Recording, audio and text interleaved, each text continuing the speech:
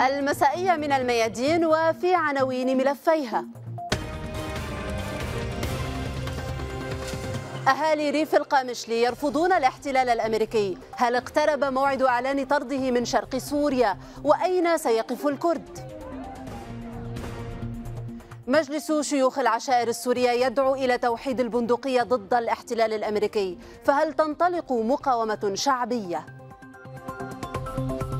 اغتيال الخبير الأمني هشام الهاشمي ما هي المآرب والخلفيات وهل يعود الإرهاب إلى العراق ومن الذي يسعى إلى إثارة الفتنة؟ مساء الخير. احتجاجات ورفض للاحتلال الأمريكي شرق الفرات. أهالي ريف القامشلي خرجوا مجددا مطالبين بمقاومة الاحتلال الأمريكي وبطرده من مناطقهم. تحركات واكبها مجلس شيوخ العشائر السورية بدعوة جميع مكونات الجزيرة السورية للالتحاق بالمقاومة الشعبية لتحرير البلاد. المجلس حذر قوات سوريا الديمقراطية من الانخراط في المشروع الأمريكي لحصار الشعب السوري ومنع الحل السياسي وإعادة الأعمار. كما دعاها إلى التوجه إلى دمشق لتوحيد البنادق لطرد الأمريكي وضرب قواته غير الشرعية. فكيف سيتعامل المحتل الأمريكي مع هذا الحراك؟ وأين سيقف الكرد؟ وفي المسائية أيضا نناقش أبعاد وخلفيات اغتيال الخبير الأمني هشام الهاشمي في بغداد. فمن يقف خلف هذا الاغتيال؟ وما هي مآربه وخلفياته؟ من يستغله للضغط على فصائل المقاومة في محاولة لخلق فتنة؟ وهل يمكن أن يكون مقدمة لاغتيالات أخرى أخطر في الساحة العراقية؟ أهلا بكم في المسائية.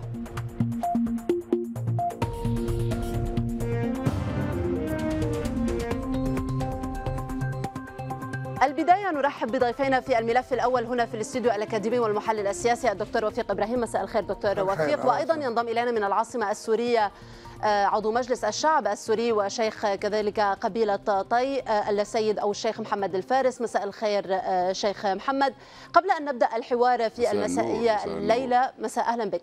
إذا تشهد الجزيرة السورية حراكا احتجاجيا عشائريا ضد المحتل الأمريكي بالتزامن مع بيان لشيوخ العشائر.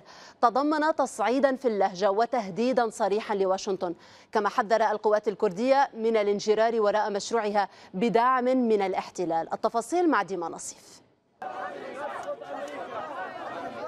عشرات اللافتات الاحتجاجية ضد الاحتلال الأمريكي ترفع في الشمال السوري المحتجون يستكملون مسارا بدأ يتصاعد في مزاج شعبي عشائري رافض للوجود الأمريكي ويحذر القوات الكردية التي سارت خلف هذا الاحتلال ورفعت أعلامه بذريعة محاربة داعش من أجل تثبيت سيطرتها على هذه المناطق تمهيدا للانفصال إنما يسمى. بيان العشائر السورية وللمرة الأولى حمل في طياته تهديدا صريحا لواشنطن بمواجهة ما هو أدهى وأمر مما واجهته من المقاومة العراقية. عشائر الحسكة ودير الزور والرقة والشرق العربي السوري في قاعة واحدة. يديرون نقاشا سياسيا ينقل المشروع الكردي الفيدرالي من طرف يستأثر بتقرير مصير هذه المنطقة إلى طرف قد يواجه العشائر ذات الأغلبية السكانية التي تعمل تحت مظلة الدولة السورية والحليف الروسي لتغيير المعادلة التي حاول الكرد ترسيخها في تثبيت منطقة نفوذ تحت أعلام كردية وأمريكية. المساعي الأمريكية الكردية لامتصاص الغضب العشائري لم تفلح. اجتماع شيوخ العشائر مع قائد قوات قصد مظلوم عبدي والمبعوث الأمريكي الخاص إلى سوريا بريت ماغارك وسع الاحتجاج بعد إصرار واشنطن على فرض سيطرة الكرد على تلك المنطقة. تسعى العشائر في موقفها لمنع قيام الخارطة الفيدرالية الجديدة التي إذا ما قامت ستضم 40% من مساحة سوريا. وتهدد موارد الدولة من القمح والقطن في الحسكة كما تهدد حقول النفط في دير الزور وهي أكبر مصادر الطاقة والمياه في سد الفرات. موارد بفقدانها لن تقوى دمشق على مواجهة تداعيات قيصر. يدرك الكرد والأمريكيون أن خسارة ورقة العشائر لصالح دمشق وموسكو ستؤدي إلى إرباك المناطق الخاضعة لنفوذهم حاليا. ما قد يدفع واشنطن إلى سحب قواتها من سوريا وإلزام قصد بالحوار مع دمشق لإنهاء ملف الشرق السوري كاملا. ديما نصيف دمشق الميادين. أبدأ معك شيخ محمد فارس بالأشهر الأخيرة تعالت الأصوات الشعبية والرسمية المهددة للتواجد الأمريكي خصوصا في الجزيرة السورية. ولكن أن يصل اليوم بيان العشائر إلى تحديد للمرة الأولى والتهديد الصريح لهذا التواجد والمحتل الأمريكي الذي وصفه. ما حدود هذا التحرك وما تبعات هذه الدعوة؟ أولا مساء الخير. مساء النور. مساء الخير عليكم جميعا والرحمة لشهدائنا والشفاء العاجل لجرحانا من قواتنا المسلحة في شتى ميادين القتال. بداية العشائر هم جزء من المكون السوري. العشائر بمختلف تكويناتهم. بعربهم وكردهم ومسيحيتهم وكل جميع المكونات أو الأطياف اللي موجودة على الساحة السورية في الجزيرة السورية. الآن ليس بالجديد ليس بالجديد على أبناء العشائر الامتعاض مما يجري اليوم من ممارسات على مدى عشر سنوات والآن توجت بالضغط على لقمة العيش للشعب السوري. تجويع المواطن السوري لكن نسيوا بأن الشعب السوري وسوريا قد تصمد ولكن لا تسكت. والشعب السوري يصمد ولا يسكت. آن الأوان الآن أن تستفيق همم الشرفاء لتدحض المشروع الأمريكي والضغط الأمريكي. فيما يخص الحراك العشائري في الجزيرة السورية لم يتوقف هذا الحراك على مدى سنوات الحرب على سوريا منذ بدايتها وحتى الآن. وقد أكدت العشائر العربية والكردية والطوائف المسيحية ممثلة بالنخب الوطنية والرموز الاجتماعية أن موقفها جزء لا يتجزأ من موقف القيادة السورية في كل ما يجري على الأرض السورية وهي ملتزمة بذلك. ومن هنا أقول أية مبادرة من أبناء المكون العشائري بكل أطيافه الجميع سيكون داعم له شريطة أن تكون تلك المبادرة ملتزمة بالثوابت الوطنية وهي علم الجمهورية وقائد الوطن السيد الرئيس بشار الأسد والجيش العربي السوري وغير ذلك لن يكون مفيدا. على العموم لا زالت المبادرات لا تعطي منتوجا كبيرا بسبب أنها فردية. لكن ما هو مأمول. ولكن شيخ محمد الفارس حينما يعني دعوة المقاومة الالتحاق بصفوف المقاومة الشعبية والمشاركة بهذا التحرير تحت هذا المسمى هل المقاومة الآن نتحدث عن فعل ميداني لأنه تمددت في الفترة الأخيرة إلى استهداف الأرتال والآليات الأمريكية؟ هل هذا قرار بالنسبة للفصائل بمقاومة وإخراج كما وصف المحتل الأمريكي من الشمال السوري أو من الجزيرة السورية؟ هلا بدات بدأت التصدي لأرتال القوات المحتلة في أي قرية من قرى ريف القامشلي. تمر فيها هذه الأرتال تتصدى لها أبناء هذه القرى. طبعا بالحجارة والامتعاض وإن صح التعبير بإنزال العلم الأمريكي وإحراقه إلى آخره. هذه بدايات لكن ما هو مأمول أن تنمو هذه الروح المقاومة وتشمل الجميع وتكون بشكل منسق ومنظم وبحيث تخرج المحتل الأمريكي من سوريا لأن الأرض السورية لا تقبل أن تدنس لا تقبل أن تدنس بمحتل زي الأمريكي آه، من هذه أو من هذا الموقف المهم شيخ محمد فارس دكتور وفيق إبراهيم حينما نتحدث اليوم عن اشتباك وصل إلى هذا الحد نعم. المقاومة واستهداف الأرتال الأمريكية آه، وحدة البندقية يعني الدعوة إلى البندقية الموحدة بالنسبة للعشائر. هذا إلى ماذا آه، يشير؟ إلى انفجار الوضع بأنه قاب قوسين أو أدنى يمكن القول في الجزيرة السورية. مساء الخير لك. وللضيف الكريم. اولا موضوع العشائر أعمق يعني من الذي نتكلم عنه. يعني هذا الموضوع هو ضربة لمشروع تجزئة سوريا يعني علينا أن نبحث في العمق عن عن موضوع العشائر العشائر دائما مع الدولة. لكنها اليوم تسدد ضربة يعني قاسية جدا لمشروع تقسيم سوريا ما بين كرد ومجموعات موالية لتركيا والدولة الحالية. هنا يعني تكمن براعة هذا الموضوع لأن اليوم العشائر عندما يسددون هذه الضربة فإنهم يضربون الأمريكي والسعودي والإماراتي وينزعون أيضا تلك التغطية الكبيرة التي يت- يتمتع بها التركي. لذلك اليوم أولا الأكراد ليسوا موجودين في في دير الزور. هم تقدموا إلى دير الزور بتغطية من الأمريكيين وبعض ال- المتحالفين معهم من العرب السوريين. آه، لذلك هم محصورون في الشرق ال- ال- الشمالي لسوريا.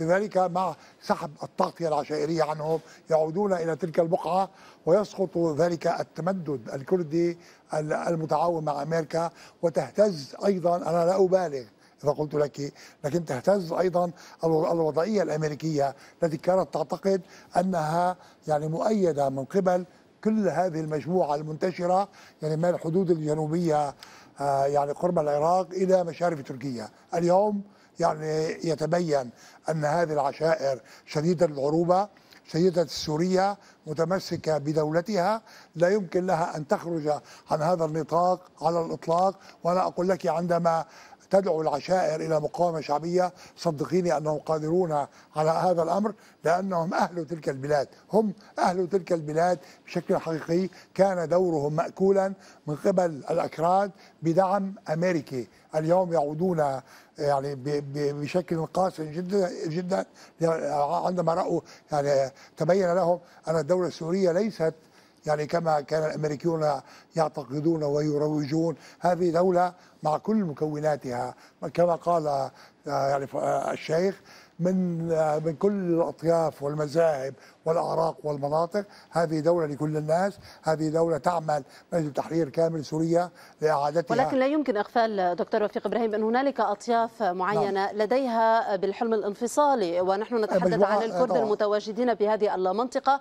وهنا نسأل عن الموقف لأن هنالك في دعوة إلى نعم. عودة الحوار وفتح آه، التواصل من جديد من قبل العشائر ما بين الكرد ودمشق. وهذا يمكن يخوضنا أكثر بتفاصيل موقف ال- الكرد. ولكن أعود بس إلى تفضل موقف العشائر هو الذي سيفرض على الأكراد أن يعودوا إلى دمشق. قبلا كانوا يعتقدون أن العشائر موالون لهم ومع التغطية الأمريكية كانوا يجدح يجدحون. نحو التقسيم. اليوم مع الانسحاب العشائري منهم تأكدي أن رؤوسهم الحامية يعني قد تعود إلى رشدها إنما مع بعض الوقت يعني مع بعض الانتصارات الإضافية التي يمكن أن تتحقق في مقبل الأيام. ورقة الضغط هذه التي يشكلها شيخ محمد الفارس آه، الضغط على الكرد وموقف الكرد ولكن هل يمكن القول بأنه هل أصبح أبناء العشائر الآن رديف لمقاتل أو الجيش العربي السوري؟ ودور هنا المقاومة الشعبية بمنطقة الشرق الفرات. ما مدى التعويل عليه؟ أتحدث بالواقع الميداني خصوصا وأنكم دعوتم إلى توحيد البندقية. بلا شك بلا شك ال- ما يجري الآن في شرق الفرات هو صح وأنا سبق وقلت لسيادتك لحضرتك بأن الشعب السوري يصمد ولا يسكت. آن الأوان الآن أن لا يسكت ويرفض. بالمناسبة أنا شاكر للأستاذ إبراهيم. كل ما تفضل فيه وحلل نفسيات المجتمع العشائري بكل أطيافه بكل أطيافه عربا وأكراد ومسيحيين كل الشرفاء. الآن بدأت الصحوة تعتبريها. لماذا الآن بهذا التوقيت آه، شيخ محمد الفارس؟ وبالملتقى تحت اسم تجمع سوريا الواحدة كان يعني هنالك اتهام واضح للولايات المتحدة الأمريكية كما قلتم بدعم المشاريع الانفصالية التي تشوه واقع المنطقة. كيف تقوم أو تقدم هذا الدعم الولايات المتحدة بلا, الأمريكية؟ بلا شك ال- الواقع عم بيفرض نفسه الواقع عم بيفرض وعم نشوف الأمريكان الآن بإقامة آه، قواعدهم وسيطرتهم على منابع النفط في شرق الفرات وبالحسكة والسيطرة على أرزاق الناس وتجويع الناس ونهب ثروات الوطن. كل هذا يدل على آه، آه، عمليا هي تجزئة سوريا. المشروع المشروع الانفصالي اللي آه، تحمله في ذهنها أمريكا وأردوغان هذا لن يتحقق الآن بدأنا بمرحلة الصحوة لل- ال- ال- ال- للشعب السوري ما بدي أقول للعشائر لأنه المجتمع السوري في الغالب هو مجتمع عشائري. بدأنا الآن بالصحوة وأي مشروع انفصالي هو مرفوض شكلا ومضمونا. وأنا ب- من موقعي الاجتماعي ومن موقعي الرسمي العشائري والرسمي أنا باسم كل الشرفاء أقول يجب أن يخرج كل من دخل سوريا بدون مشروعية وهو موجود على الأرض السورية يعتبر محتل ولابد ما يأتي اليوم اللي سيخرج مهزوم. إن شاء الله. هنا تقصد الأمريكي والتركي معا آه، شيخ محمد لأنه بلا شك مش بس ال- الأمريكي والتركي. كل من تسول له نفسه أن يكون أن أن أن عنده نزعة انفصالية أو تقسيم سوريا أنا أطالب في في نزوحه. هل ما يحدث في الشمال السوري شيخ محمد الفارس من عمليات سرق النفط وحرق المواسم قطع المياه هي تتم بصورة ممنهجة ومنسقة ما بين الأمريكي والتركي؟ بلا شك ممنهجة لأنه عم تطلع حوامات الأمريكية عم بتزت بعض ال- ال- القنابل مدري شو هذه ال- الحارقة. حارقة نعم. وتحرق المزروعات والتركي بدوره أيضا من خلال وجوده في مناطق رأس العين أيضا يمارس نفس العمل بحرق المزروعات ونهب أرزاق الناس وتشريد الناس. فبلا شك ال- ال- ال- المشروع واحد والتوجيه واحد كل يعمل من من بجهة. بأحد الجوانب المهمة دكتور وفيق التي كشفها كتابة جو بولتون مستشار ترامب السابق للأمن القومي هو غياب القضية السورية عن اهتمامات الطبقة الأمريكية الحاكمة خصوصا بعهد ترامب. وهنا أيضا يتعلق بشخصية ترامب لأنه هو أعلن مرتين عن انسحاب نعم. قواته من آه، سوريا. وتراجع يمكن باللحظات الأخيرة نتيجة الضغوط التي تمارس آه، عليه. هل هذا يعني أن المسكنات في الشمال آه، آه، السوري ممكن أن تجر الكرد إلى المواجهة مع الجيش السوري وما هي الخيارات بالنسبة للكرد؟ آه، دائما دائما الأكراد يعني يخطئون في حركة التاريخ آه، ال- الأكراد مكون قريب جدا من العرب وهم يسكنون مناطق داخلية لا سواحل لها ولا مخارج أي أنه في العلوم السياسية لا يمكن إنشاء دول في مناطق مقبلة يعني مثلا لاحظي إذا أنشأوا دولة في شرقي الفرات من أين يمرون؟ هم على عداوة مع التركي. الدولة السورية لا تسمح لهم. ليس لديهم حتى طرق جوية. مع العراق لا يستطيعون المرور. لذلك هذا مشروع يعني ميت في مهده. على الرغم من ذلك يستمر الأكراد بدلا من أن يطالبوا تحسين أوضاعهم في الدولة السورية تراهم ينجرون إلى مشاريع تقسيمية في إيران في خمسينات القرن الماضي في العراق في السبعينات آه، لا، في سوريا آه، في- آه، في تركيا. لذلك أنا أعتقد أن الدولة السورية التي استضافتهم عندما طردهم الأتراك في عشرينات القرن الماضي أتوا إلى قسم كبير منهم أتى إلى إلى شرق سوريا، أنا أؤمن بسوريتهم. وأؤمن أن لهم حقوقا في السياسة والاقتصاد وفي كل شيء، إنما هذا الأمر لا يتطلب أن نتعاون مع الأمريكي والإسرائيلي لكي نقسم سوريا، لذلك الأكراد من دون الأمريكيين لن يفعلوا شيئا. على الإطلاق ولا شيء ابدا. حتى موازنات القوى في شرق الفرات نفسه لم تكون لمصلحتهم. فقط الذي يدعمهم هو الأمريكي والأمريكي كما قلت لم يكن شديد التمسك بشرق سوريا. ترامب قال علنا قال قبل عام تحديدا في مثل هذا التوقيت في الصيف الماضي كان يتحدث عن الانسحاب الكامل أيوة. وحرق هذه الورقة وبرر هذا الانسحاب عندما قال أن النفط السوري ليس يعني يعني كبيرا كان يريد شيء أكبر. لذلك كان طموحه عراقي أن يستمر في العراق أن يلتهم. النفط العراقي أن يقسم العراق إلى ثلاث دول وعلى أن يترك سوريا للأتراك والإرهاب. كان يعول على الإرهاب من جهة وتركيا من جهة ثانية مع تدخلات سعودية وإماراتية للعب في الداخل السوري. كان يعتقد أن هذه الفئات تكفي لتدمير سوريا. وركز على العراق. إلا أن الدولة الأمريكية العميقة لم تسمح له بهذا الأمر وأصرت على البقاء في شرقي الفرات اعتقادا منها أنها أنها أيضا سوريا مع العراق تشكلان قلب المشرق العربي.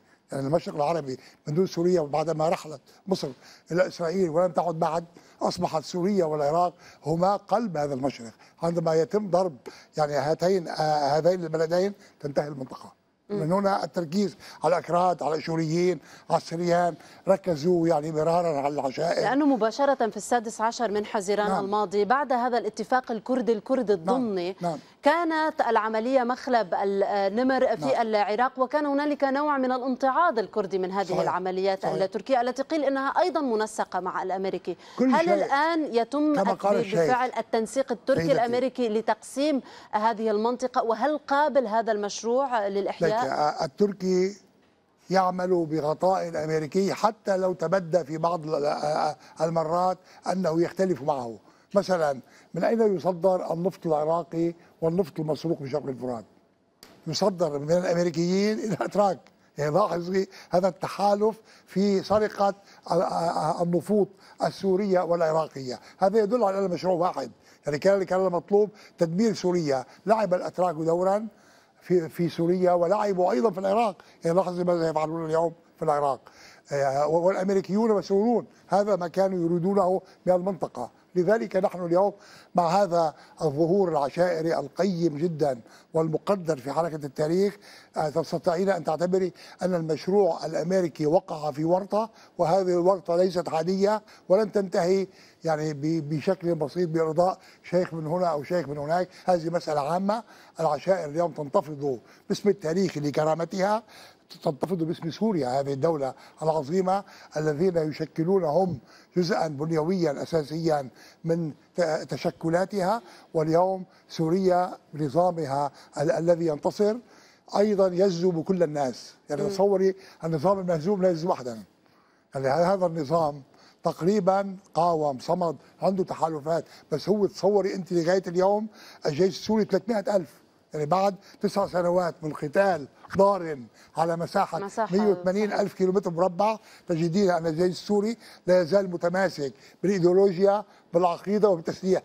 هذا أمر نادر ولذلك يمكن ذهب إلى تعبير مهم جدا آه، الشيخ محمد نعم. الفارس الصحوة بالنسبة معه لكل أبناء الشعب وخصوصا وجهاء العشائر في نعم. الجزيرة السورية بتحذير اليوم بالبيان شيخ محمد حذرت فيه مجموعة نعم. العشائر أو وجهاء العشائر عفوا مجموعات قسد من الانخراط بالمشروع الأمريكي وتنفيذ أهدافه بحصار الشعب السوري وكذلك منع الحل السياسي هل ستلقى هذه الدعوة ردودا لدى الكرد تحديدا أم سيعولون كتجارب سابقة بالنسبة لهم على الحليف الأساسي الأمريكي. في المقابل هنالك يعني بدون إغفال كما ذكرت قبل قليل التنسيق بأي خطوة يقام في شمال شرق الفرات ما بين التركي والأمريكي. على حساب الكرد. هم, هم يعرفوا أنه الأمريكي عبر تاريخه لم يصدق في أي تحالف مع أي كان. هذا شيء واثقين منهم.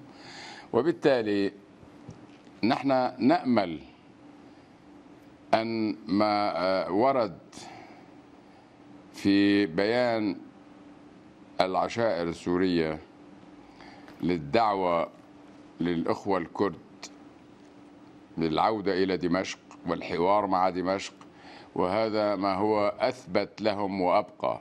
إذا صحوا صح أن يستوعبوا. هذا ليس آه، آه، آه، لا رجاء ولا شو اسمه لكن هذا هو من باب الحرص لأنه أنا بدي طالبهم بشغله هلا من يعتبر نفسه يدافع عن كرامة أبناء المنطقة يجب أن يدافع عن حال عن لقمة عيش أبناء المنطقة أيضا. لكن للأسف اليوم أبناء المنطقة يعانوا من آه، آه، محاربتهم في لقمة عيشهم من الجانب الأمريكي والتركي وإلى آخره. لكن نأمل إخوتنا الكرد أن يعوا ويصحوا لمستقبل العلاقة الكردية الأمريكية. أنها لن تدوم بل بالعكس ما أتمناه أن يعودوا إلى سوريتهم حيث الغالب منهم الآن هم كلهم سوريين. والأكثر بأنه أبناء العشائر الآن هم يشكلوا القوة العسكرية لهؤلاء الكرد ولكن شيخ نعم. محمد ما هو المتوقع والمنتظر بالرد الفعل التركي؟ أنت تقول تأمل بالعودة إلى دمشق ولكن مسؤول كردي بارز في أمس تحديدا قال أن الإدارة التي يقودها الكرد بشمال شرق سوريا تجري محادثات مع الحلفاء العسكريين بتحالف تقودها الولايات المتحدة بوعود حصلت عليها لإعفائها من العقوبات الأمريكية التي تستهدف الدولة السورية ونحن نتحدث عن قانون قيصر إلى ماذا يشير هكذا تصريحات وكأنه تمسك للرمق الأخير بالنسبة للكردي بالحليف الأمريكي سنرى سنرى من سيستطيع أن يصمد من سينال أنا آه، طبعا ما بتمنى أنهم ينجروا وراء الأمريكي إلى درجة الوثوق التام في في الوعود الأمريكية لأنه عمر الوعود الأمريكية ما صدقت ولا حتى في إردوغان. الآن التحالف الأمريكي التركي ألا يعني لهم شيئا؟ احسنت التركي اللي آه، آه، آه، أخذ عفرين وراس العين وجرابلس ومدري وين. نعم. كل هذه هذا الشريط الحدودي والآن لديه مشروعه أن يستمر. في السيطرة على الشريط الحدودي بالكامل. الآن الآن هو يجهز لتل أبيض ومن ثم سيجهز للدرباسية وعمودة والقحطانية وهو ماشي إلى أن ينهي هذا الشريط الحدودي. فهل هذا يتناسب مع طموحات إخوتنا الكرد؟ شكرا جزيلا لك. نعم تفضل آه، آه، شيخ محمد. بالمحصلة نحن أبناء سوريا قبل أن نكون أبناء العشائر أو نكون أبناء نحن أبناء المكون السوري. لن نقبل ولن نقبل ولن نقبل إلا أن تكون سوريا موحدة وعزيزة و شكرا جزيلا لك شيخ محمد الفارس. نعم. هل من كلمة تريد الختام بها فيما يتعلق خصوصا بالموقف الكردي؟ لا أنا الأكراد ناسنا وأهلنا وأحبائنا ونتمنى عليهم أنهم يأخذوا بي بي بي بالكلام اللي وجه لهم من من من مكونهم العشائري.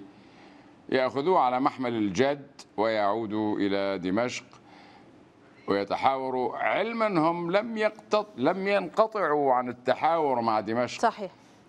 لكن الآن أتمنى أن يستمروا في التحاور مع دمشق والوصول إلى ما هو أضمن آه، آه، للمنطقة كلها. شكرا جزيلا لك شيخ محمد الفارس عضو مجلس الشعب السوري وشيخ قبيلة طاي كنت معنا من العاصمة السورية دمشق وأدعوك للبقاء معنا الدكتور وفيق نعم. إبراهيم لاستكمال الملف الثاني المتعلق بالمشهد الأمني في العراق. مشاهدينا الكرام فاصل قصير وبعده نعود لاستكمال المسائية بملفها الثاني. لا تذهبوا بعيدا لو سمحتم.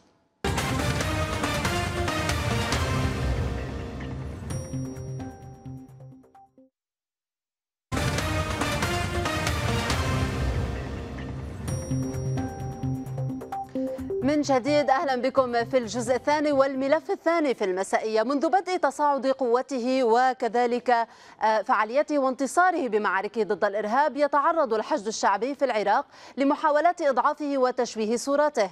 آخرها الحملة الإعلامية على وسائل الإعلام ومواقع التواصل الاجتماعي بعيد اغتيال الهاشمي باتهام فصائل المقاومة بالاغتيال. هي اتهامات تأتي في الإطار نفسه مع اتهامات سابقة طالت الحشد وفصائل المقاومة بالقيام بقنص المتظاهرين وكذلك بقمعهم. كما اتهم أو اتهم الحشد بقصف السفارة والقواعد الأمريكية في العراق هذا إضافة إلى المساعي الحثيثة للفصل بين القوات العراقية والحشد الشعبي على الرغم أو على الرغم من كونه فصيلا شرعيا وقانونيا في الجيش العراقي والإصرار على وسمه بالميليشيات المسلحة. ميدانيا استهدف الحشد عسكريا بشكل مباشر وقصفت قواعده ومراكزه خلال الحرب على داعش. كما جرى اعتقال عدد من عناصره في محاولة لوضعهم في موقع الخارج على القانون. بهذا الملف أجدد الترحيب بالدكتور وفيق إبراهيم معنا هنا في الاستديو وكذلك ينضم إلينا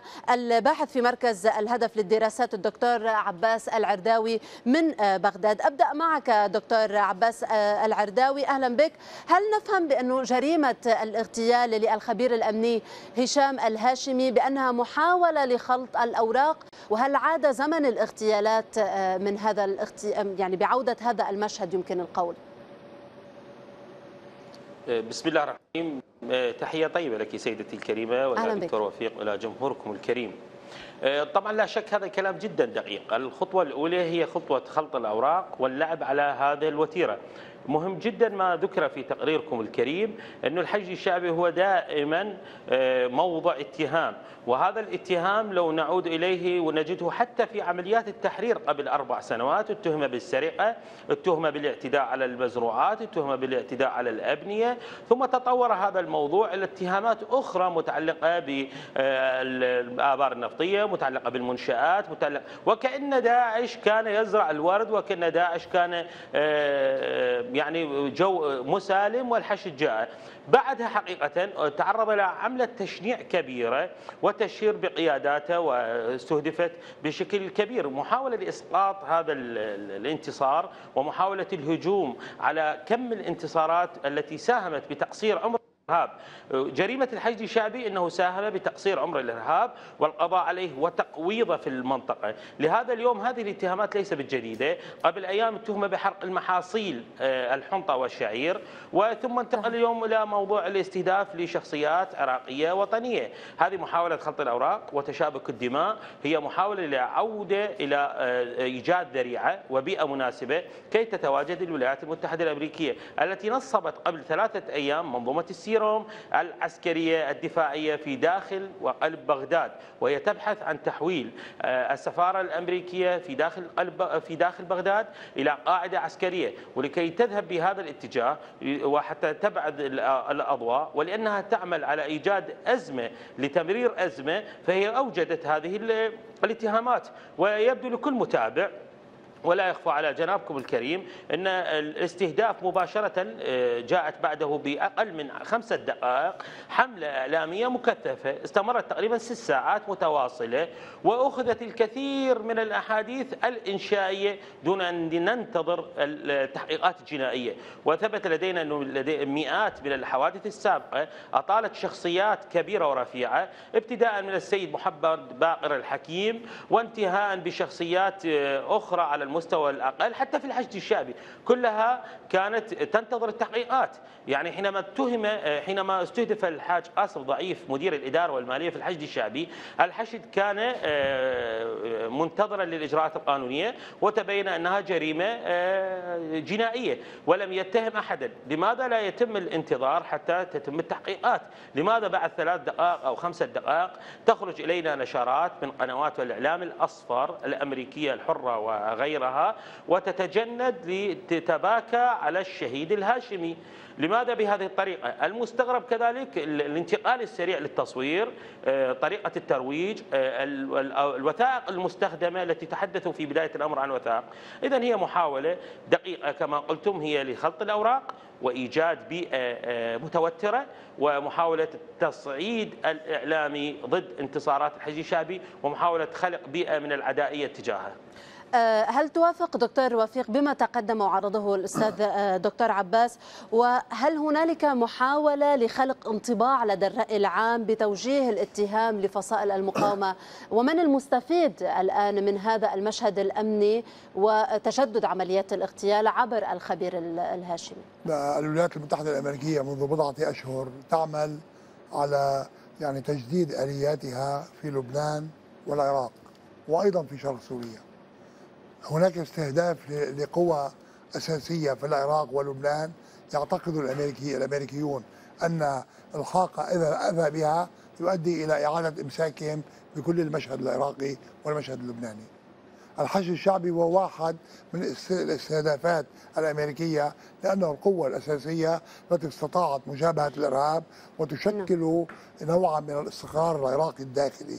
وتشكل أيضا تلك القوة التي تقف في وجه الأمريكيين وتصروا على ترحيلهم من العراق. لذلك من الطبيعي أن يقوم الأمريكيون يعني بهذا الأمر في وجه الحج الشعبي وذلك استنادا إلى خطتهم القديمة، الخطة القديمة التي تكلموا عنها منذ التسعينات هي يعني تحقيق نوع من الفتنة الطائفية في العراق وفي لبنان وفي مناطق أخرى بين السنة والشيعة.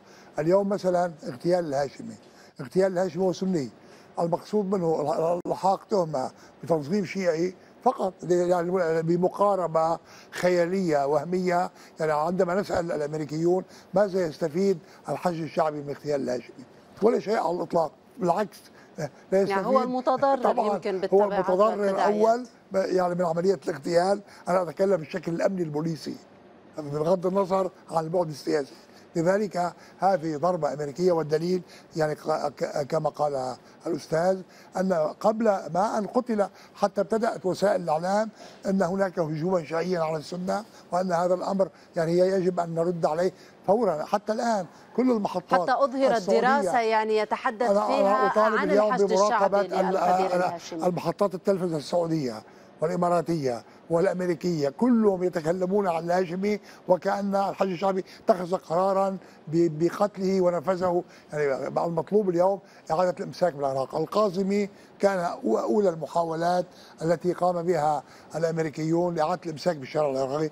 شكلوا حكومة أنا حتى الآن لا أعرف كيف قبل بها الحج الشعبي. أستنتج أنه كان هناك خلافات داخل الحج الشعبي سمحت للأمريكيين بتمرير القاظمي هذا أكيد. اليوم هذه الضربة الثانية وهي مقدمة لعمليات ولكن هذه العملية ألا تضر بمسيرة الحكم لحكومة الكاظمي الذي قال لن يسمح أنه لن يسمح بتكرار هذا المشهد خصوصا يعني ما بعد عام 2006 ومشهد الاغتيالات يحاول يحاول الكاظمي أن يستمد شرعية من هذا الاغتيال. يقول يجب عليكم أن تؤيدوني لكي يعني أمنع مثل هذه الاغتيالات.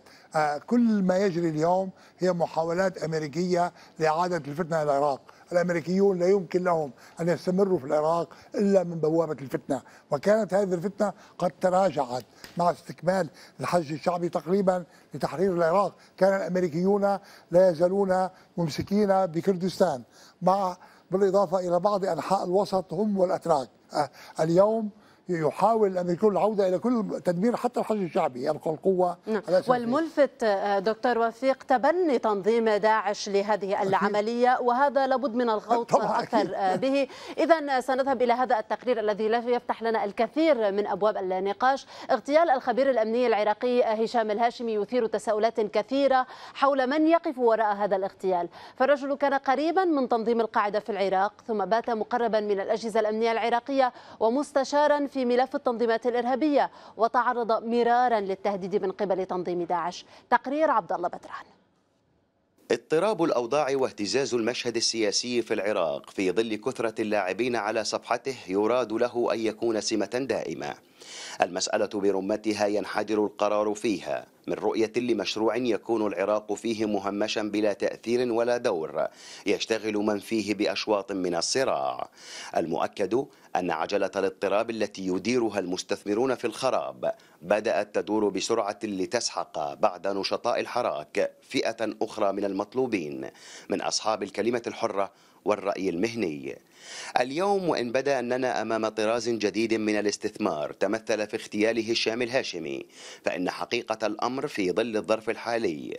أشبه بإقحام هذا النوع من العمليات الدموية التي يسهل التقديم لدوافعها وحصر لائحة الاتهام بمطلوبين معينين يجب أن يكونوا من حلفاء طهران. وباستغلال ظرف من الخلافات لم تمض عليه إلا بضعة أيام كحادث الدور وما تلاه من ردود فعل الفصائل. وبمتهمين موجودين فعلا يتسع عنوانهم العريض لمن تشتهي واشنطن شموله تحت بنده. وهو الطرف الثالث. وليس مطلوبا بعد ذلك السؤال عن عدم إقدام الكتائب أو الفصائل على اغتيال الهاشمي بينما كان لسنوات يتحرك في بيئتهم المناطقية وتستضيفه فضائياتهم.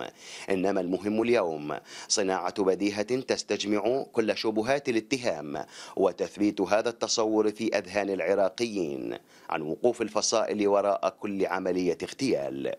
بسوق المقدمات التي تستبق كل حدث وانتقاء الأهداف التي تصلح لتفجير الاضطراب وتقديم الأدوات واختيار التوقيت وحشد الشهود بتوليفة مبتورة من الكلمات. تفتتح لها نشرات الأخبار وتلاحقها بالتأويل والتحليل وبتصور أن يفعل هذا الجو المشحون بالاتهام فعله. والهدف ما زال هو الهدف منذ البداية فإنه ينبغي التحذير من أن نسقية اغتيال الهاشمي ربما تكون في بدايتها. عبد الله بدران بغداد. الميادين. دكتور عباس من يحاول جر العراق إلى الفوضى من خلال اغتيال الخبير الأمني الهاشمي؟ وهذه العلاقات المرتبطة خصوصا أنه داعش المتضرر الأكبر بسياق التقارير التي صاغها وخلفيات وأبعاد هذا التنظيم. كان الخبير الأول يمكن بمركزية القرار الخبير الهاشمي. المتضرر هو من النتائج يحسب هذا الموضوع بنتائجه. وكما ذكرنا اليوم على أقل تقدير هو كان يعطي معلومات جدا دقيقة حول داعش وعصاباته وتواجده بالأسماء والعناوين. وحتى في عملية القرداش كان له تأثير كبير وبدأ محاولة الانتقام منذ تلك اللحظة نشرت الكثير من التهديدات إليه. وبل وأخوه الأصغر يعني تحدث عن أنه تلقى تهديدات آه، من داعش وعصاباته باعتبار باعتبار أنه سرب معلومات مهمة جدا ودقيقة ولفهم تحركاتهم أصبح مستشارا بهذه المهام وعلى مدى سنوات. هذه نقطة. النقطة الثانية الذي يستثمر هذا الموقف والذي آه، يمكن أن يصب بصالحه لا شك هو من يذهب إلى محاولة إشاعة الفوضى وهو هدف واحد من أهم الأهداف التي تبحث عنها الولايات المتحدة الأمريكية. اليوم الفوضى تسمح لها بإعادة العصابات الإرهابية. اليوم الفوضى تسمح لها بالتدخل بالملف الأمني. الفوضى هي التي سمحت لها في موضوع نصب المنظومة الدفاعية في قلب بغداد الفوضى هي التي سمحت لها بإعادة المفاوضات في موضوع التواجد وموضوع إعادة الانتشار. بالتالي لا, لا مصلحة لا للحشد ولا للفصائل المقاومة ولا لأي عراقي حقيقة.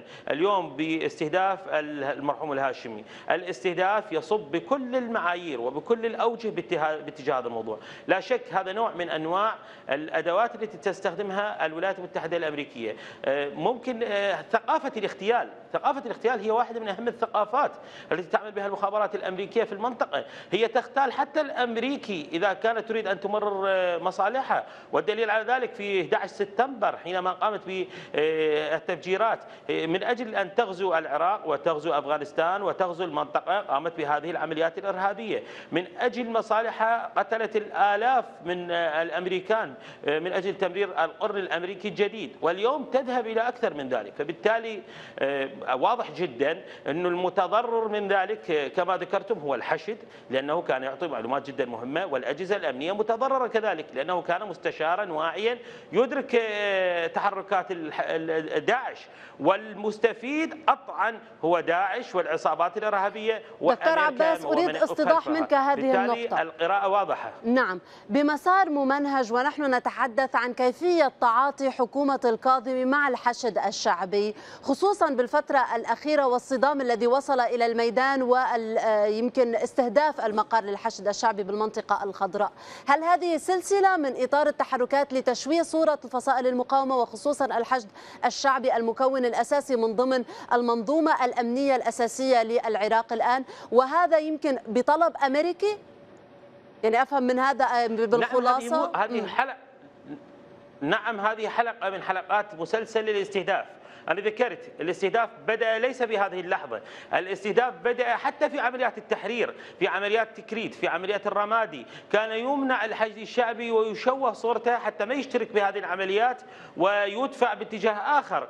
آه، ثم انتقلنا إلى مرحلة الانتصار. في مرحلة الانتصار كانت لدينا ضريبة كبيرة منها موضوع عدم توطين رواتبه منها موضوع آه، تقليص رواتبه. حتى القانون الذي كان مص... آه، الذي تأخر التصويت عليه موضوع موضوع موضوع تواجده يعاقب على تواجده في منطقة الحدود ومسكن الحدود بأكثر من 27 استهداف من تقريبا آه، منتصف 2017 آه، إلى آخرها في موضوع 7 2 2020 تحديدا مواضيع موضوع استهدافات القائم وموضوع استهدافات المتعلقة بسلسلة استهدافات مقر كبيرة وكان في حين استهداف للمطار كربلاء واستهداف في المعسكرات واستهداف أيضا للشرطة الاتحادية واستهدافات أخرى. فبالتالي وبالتالي هذا هذه سلسلة الأحداث هي تعطي رسالة واضحة. ان اليوم الاستهداف لا زال مستمرا لكن الطريقة تختلف.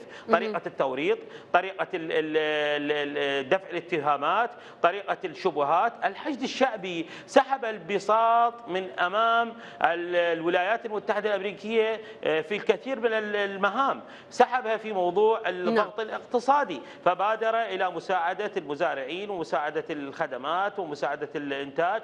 بادر في مبادرته الأخيرة الاجتماعية في موضوع وباء كورونا. آه، شكل المستشفيات وذهب إلى دفن وتغسيل وتكفين الضحايا في كورونا وذهب إلى أكثر من ذلك فهو لا زال يعطي الكثير من الدماء وهو يرابط على الحدود. ونقطة الحدود بشكل سريع دكتور عباس. مهم جدا دكتور عباس هل ستستطيع الحكومة العراقية الكشف عن الجنات يمكن بشكل سريع لأنقل النقاط التي ذكرتها للدكتور وفيق إبراهيم. طبعا هذا واحد من أهم المهام المهمة جدا. عليها نعم. أن تذهب اتجاه تحقيقات جنائية وأن تكشف الجنات وعليها أن تثبت الجنات وأن تلزم الادعاء العام بمتابعة هذا الموضوع وإحالة المتهمين إلى القضاء. ممتاز. مهم جدا كي نرفع الشبهات ويبدأ آه، آه، المسار مسار دكتور وفيق نعم لم يبقى لدينا الوقت. لمصلحة من اضعاف الدولة العراقية والتأثير بقرارات قياداتها السياسية الآن؟ الأمريكيين في العراق، الأمريكيون يعملون على البقاء في العراق بتحويل المشهد الداخلي مشهد مطالب بسحبهم إلى مشهد منخرط في فوضى أمنية ومذهبية، تصوري منذ عدة أشهر كنا نتكلم عن الحج الشعبي وهو في حالة قريبة من التنسيق مع الجيش السوري، صحيح. اليوم وصلنا على الحدود السورية آه، اليوم اليوم عدنا إلى داخل بغداد لكي نحاول أن نحد من فتن مذهبية وطائفية، هذا هو هذا هو التخطيط الأمريكي الذي وصلنا إليه في هذه الأيام. بشكل أكيد والدكتور عباس أشاد هذا الموضوع. شكرا جزيلا لك دكتور وفيق إبراهيم الأكاديمي والمحلل السياسي كنت معنا هنا في الاستديو في ملفي المسائية والشكر موصول لك دكتور عباس العداوي الباحث في مركز الهدف للدراسات كنت معنا من بغداد. وفي الختام تذكير بأبرز عناوين المسائية. أهالي ريف القامشلي يرفضون الاحتلال الأمريكي هل اقترب موعد إعلان طرده من شرق سوريا وأين سيقف الكرد؟ مجلس شيوخ العشائر السورية يدعو إلى توحيد البندقية ضد الاحتلال الأمريكي فهل تنطلق مقاومة شعبية؟ اغتيال الخبير الأمني هشام الهاشمي ما هي المآرب والخلفيات وهل يعود الإرهاب إلى العراق ومن الذي يسعى إلى إثارة الفتنة؟